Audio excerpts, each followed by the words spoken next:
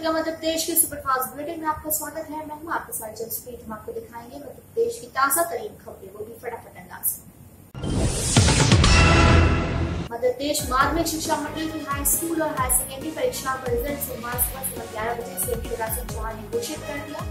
दसवीं में ग्यारह लाख तीन सौ बावन विद्यार्थियों ने परीक्षा दी थी। इनमें छह प्रतिशत बच्चों ने सफलता हासिल की है वहीं हायर सेकेंडरी बोर्ड परीक्षा में सत्तर लाख उनहत्तर हज़ार विद्यार्थियों ने परीक्षा दी जिसमें अड़सठ फ़ीसदी विद्यार्थी सफल हुए वहीं हाई सेकेंडरी में छात्र चौसठ फ़ीसदी और छात्रा उनहत्तर फ़ीसदी सफल हुई इस तरह से छात्राओं ने बारहवीं बोर्ड में एक बार फिर से बाजी मारी है। में अनामिका सात और हर्षवर्धन परमार ने टॉप किया है। विदिशा की अनामिका सात ने निन्यानवे फ़ीसदी अंक हासिल किए हैं। वही शाजापुर के हर्षवर्धन परमार ने भी फ़ीसदी अंक हासिल किए हैं। बोर्ड में प्रदेश में शिवानी पवार ने टॉप किया शिवानी शिवानी ने पचानवे फ़ीसदी अंक हासिल करके कला संख्या से टॉप किया है। वही विज्ञान गणित में शिवपुरी के ललित पंचोली ने अठानवे फ़ीसदी अंक हासिल किए हैं। वाणिज्य में कुमारी आयुषी गेमुला ने पिचानवे फ़ीसदी अंक हासिल करके टॉप किया है। कृषि में संतोष रावत ने पचानवे फ़ीसदी के साथ टॉप किया है। माध्यमिक शिक्षा मंडल की दसवीं कक्षा के रिज़ल्ट में पहले स्थान पर दो विद्यार्थी रहे। इसमें शाजापुर ज़िले के काला के छात्र हर्षवर्धन सिंह और विदिशा के नाम का साथ पहले स्थान पर रहे। भोपाल में सीएम हाउस में बुद्ध पूर्णिमा महोत्सव का आयोजन किया गया। कार्यक्रम में सीएम शिवराज सिंह चौहान के साथ धर्मगुरु भी मौजूद रहे। इस दौरान सीएम ने लोगों को संबोधित किया और कहा कि दुनिया में बौद्ध धर्म मध्य प्रदेश की धरती से ही गया है। भगवान बौद्ध का रास्ता है जो अमीर है उनसे ले लो। भोपाल में सीएम हाउस में बुद्ध पूर्णिमा महोत्सव का आयोजन किया गया। कार्यक्रम में सीएम शिवराज सिंह चौहान के साथ धर्मगुरु भी मौजूद रहे।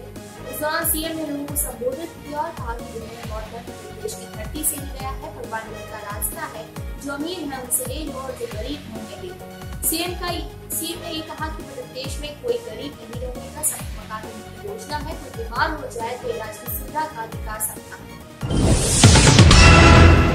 मध्य प्रदेश कांग्रेस के मीडिया प्रभारी मानव अग्रवाल ने प्रदेश में बढ़ते दुष्कर्म के मामलों पर विवादित टिप्पणी की है। उन्होंने रविवार को प्रेस कॉन्फ्रेंस में कहा कि भाजपाइयों के राज में कौन सुरक्षित है। महिलाओं से आए दिन दुष्कर्म हो रहे हैं। जो लोग पकड़े जाते हैं, वे पैसे लेकर बाद में छोड़ दिए जाते हैं। समझौता हो जाता है। ऐसे मामलों में ज़्यादातर भाजपा और आरएसएस के लोग देखते हैं। मानव अग्रवाल ने कहा कि जो लोग शादी नहीं करते, वे ऐसे केस करते हैं।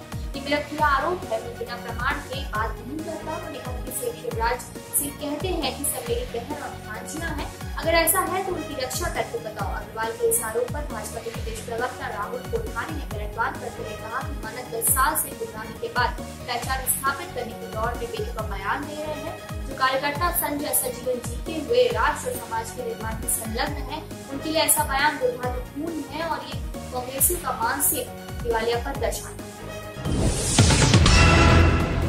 मध्य प्रदेश कांग्रेस अध्यक्ष कमलनाथ ने पेंशन को लेकर शिवराज सरकार पर निशाना साधा। कमलनाथ ने कहा कि भीषण गर्मी के समय भर में पेयजल संकट खड़ा हो गया है और सरकार अभी कार्य योजना ही बना रही है। कमलनाथ ने सवाल करते हुए पूछा कि पेयजल के लिए आने वाले करोड़ों रूपए आखिर कहाँ खर्च हो जाते हैं? हम किसी जेब में चले जाते हैं। प्रदेश कांग्रेस अध्यक्ष ने कहा की तापमान चालीस डिग्री से ऊपर पहुँच गया है और अब कार्य योजना बनाई जा रही है। सरकार को वास्तव में कार्य योजना जनवरी में ही बना लेनी चाहिए। उन्होंने कहा कि बुंदेलखंड तो हालात ये है कि आधी आबादी रोज़गार के लिए पलायन को मजबूर है। कमलनाथ ने कहा कि रोज़गार के लिए संचालित होने वाली मनरेगा योजना ठप है। आमदनी का कोई ज़रिया न होने से लोग या तो गाँव से पलायन कर रहे हैं या कर्ज ले रहे हैं और कर्ज न चुका पाने के कारण किसान आत्महत्या के लिए विवश हुए नीमच में प्रसिद्ध स्फूर्तिकार और कवि बाल कवि बैरागी का रविवार शाम नगर मनासा में। वे सत्यासी वर्ष के थे राज्यसभा और लोकसभा सांसद उन्हें मध्य प्रदेश सरकार ने कवि प्रदीप सम्मान भी दिया। था उनका जन्म दस जनवरी उन्नीस सौ इकतीस को रामपुरा गाँव में द्वारका दास बैरागी एवं भाभू पाई बैरागी के घर पर हुआ था वे सहज, कुशल और प्रेम भाव वाले व्यक्ति रहे बाल बैरागी की जिंदादिली शख्सियत का अंदाज़ा इस बात लगाया जा सकता है उन्हें अपने अंतिम भाषण में बड़े ही चुटीले अंदाज में कहा कि यहाँ मुझे छोड़कर कोई विधानसभा का संभावित उम्मीदवार है। मौसम विभाग ने सोमवार को उत्तराखंड, हिमाचल प्रदेश, हरियाणा, पंजाब चंडीगढ़ पश्चिमी उत्तराखंड, जम्मू कश्मीर और मध्य प्रदेश के कुछ इलाकों में आधी तूफ़ान के साथ बारिश की चेतावनी दी है। समूचे मध्य प्रदेश छह दिन से भीषण गर्मी से तप रहा है। जैन इंदौर संभाग में सोमवार सुबह से ही गर्म हवा तथा पेड़ी लोगों को छाव खोजने को मजबूर कर रहे हैं। उमरिया रीवा सतना पेड़ समेत कुछ जिलों में रविवार को हुई बारिश से लोगों को थोड़ी राहत मिली। सतना और भिंड में तो कई जगह पर ओले भी गिरे। मौसम वैज्ञानिकों की माने तो सोमवार को गोपालगुना राजगढ़, अशोकनगर, रायसेन उड़ीसा सहित कई शहरों तेज हवा और बारिश हो सकती प्रदेश के मंदसौर के नाहरगढ़ थाना इलाके के निर्धारी गाँव में परिवारों में आपसी विवाद होने के बाद ने घर को हवाले कर दिया। सूचना पर नाहरगढ़ थाना पुलिस मौके पर पहुँची और स्थानीय लोगों की मदद से आग पर काबू पाया। दरअसल, निर्धारी गाँव में दो परिवारों के बीच आपसी विवाद हो गया था। जानकारी के अनुसार, घर के सामने रास्ते से ट्रैक्टर निकलने की बात पर दोनों परिवारों के बीच जमकर विवाद हुआ। विवाद के बाद एक परिवार के तीन लोगों ने नितेश नायक नाम के व्यक्ति के घर को आग के हवाले कर दिया। आगजनी की इस घटना के बाद घर का तमाम सामान जलकर खाक हो गया। स्थानीय लोगों की सूचना पर नाहरगढ़ थाना पुलिस मौके पर पहुँची। पुलिस ने तत्काल स्थानीय लोगों की सहायता से आग पर काबू पाया। पुलिस ने मामले दर्ज कर लिया है और जाँच शुरू कर छतरपुर के लवकुश नगर क्षेत्र में जगह जगह जाम लगने से यातायात पूरी तरह से प्रभावित हो रहा है, लेकिन जमींदार अधिकारी द्वारा इस ओर ध्यान नहीं दिया जा रहा है। जिस कारण नगर में हर घंटे जाम की स्थिति निर्मित हो रही है, लेकिन मौके पर एक पुलिस मौजूद वही नगर के लोगों में यातायात व्यवस्था में लापरवाही पर रोष व्याप्त है क्योंकि बस चालकों द्वारा अधिक सवारियाँ भरने के चक्कर में बीच में ही बस रोक दी जाती है, जिससे जाम लगने से लोगों की आवाजाही प्रभावित छिंदवाड़ा में इन दिनों ग्रामीण क्षेत्र पेयजल की किल्लत होने की शिकायत लगातार सामने आ रही है, जिसके बाद कलेक्टर वेद प्रकाश ने मैदानी स्थिति जानने का प्रयास किया उन्होंने ज़िले के परासिया क्षेत्र की पेयजल समस्या के निदान के लिए जाना बेटा स्थित जीएम बंगला में बैठक कर पेयजल की स्थिति की समीक्षा की। उन्होंने परासिया चन्नामेटा न्यूटन बटूही और जैसे क्षेत्रों में पेयजल समस्या की जानकारी ली और पीएच विभाग के ई समेत अन्य संबंधित अधिकारियों को निर्देशित किया और पानी की समस्या को संभव तरीके से सुलझाने और आवश्यकता अनुसार पानी की आपूर्ति करने को कहा। कलेक्टर ने इस दौरान जल संरचनाओं को भी देखा और उनके संरक्षण पर विशेष ज़ोर दिया।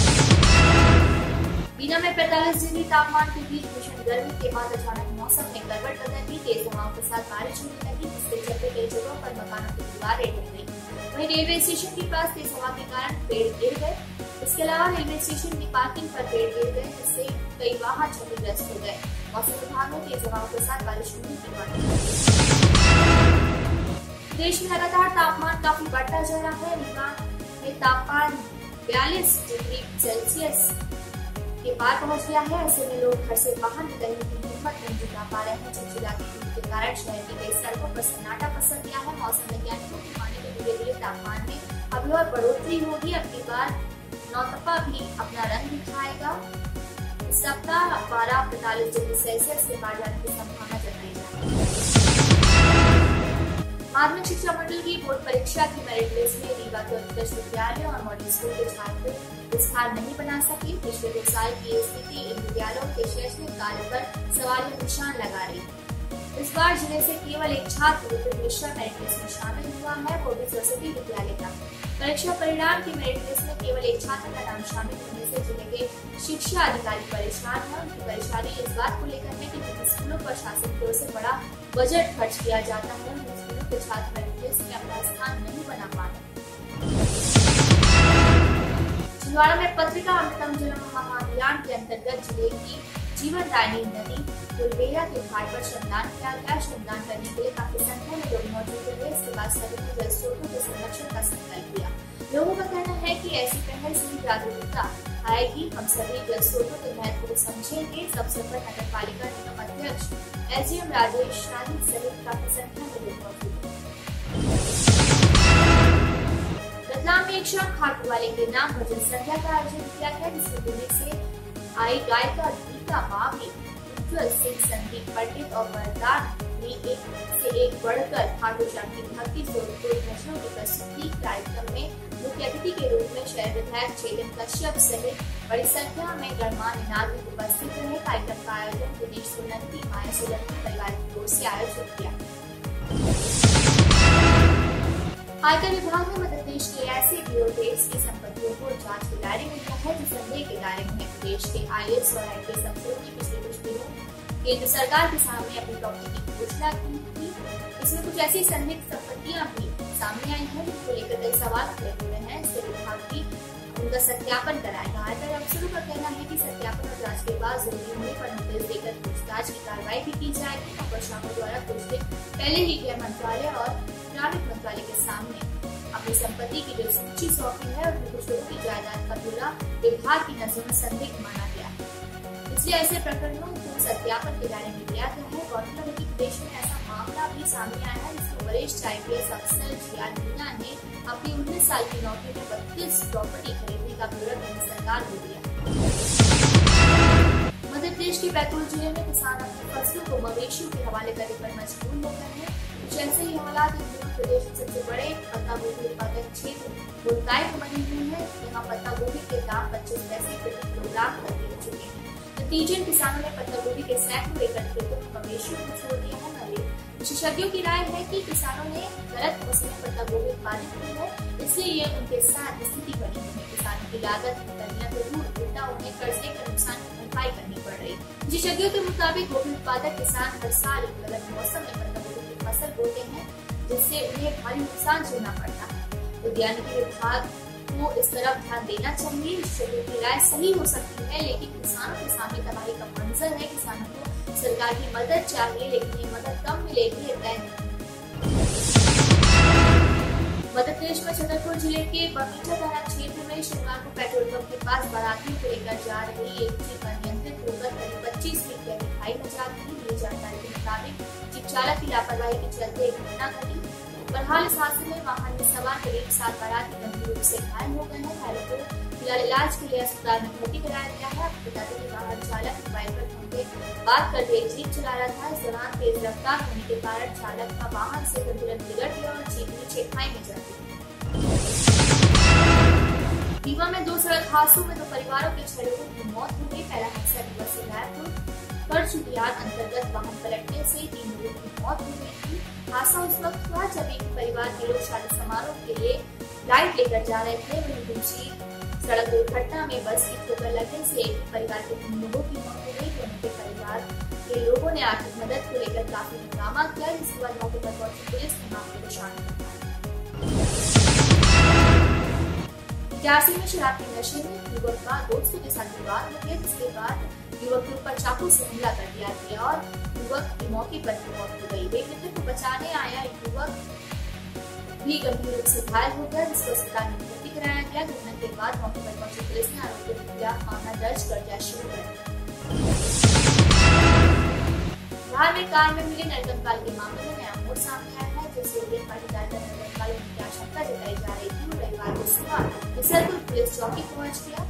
अब पुलिस ने सिरे से मामले की जाँच जुट गई है आपको बता दें कि सरपुर के ग्राम पिपलिया के पास शनिवार को सुबह करीब पाँच पुलिस बजे पुलिस को एक जली हुई कार में कंकाल मिला था। बताया जा रहा है कि कार में आग लगी और उसके बाद उसमें मौजूद व्यक्ति जल गया। फ़िलहाल पुलिस ने कंकाल को इंदौर के एमजीएम मेडिकल कॉलेज में पोस्टमार्टम के लिए भेजा है। इधर कार में मिली तीन अंगूठियों के आधार पर प्राथमिक रूप से माना जा रहा था कि ये शव ग्राम पिपलिया के युवक योगेन पाटीदार का हो सकता हालाँकि इसको लेकर पुलिस और योगी परिजन आधिकारिक रूप से कुछ नहीं कह रहे थे पुलिस तो आपको यही कहना था कि जाँच के बाद ये स्पष्ट सतना के रेलवे स्टेशन पर जीआरपी सांसी गिरोह के सदस्यों को पुलिस ने गिरफ़्तार कर लिया है। गिरोह के सदस्य हरियाणा के रहने वाले हो पूरे देश में बना कर गिरोह वारदात को अंजाम देता है जीआरपी चौकी प्रभारी संतोष तिवारी के मुताबिक इस गिरोह ने ट्रेन में चोरी की आधा दर्जन से अधिक घटनाओं को अंजाम दिया है। मानेपुर से कटनी तक की गिरोह सक्रिय रहा है। इसके पहले कटनी जीआरपी भी इसी सासी गैंग के सदस्यों को गिरफ्त में ले चुकी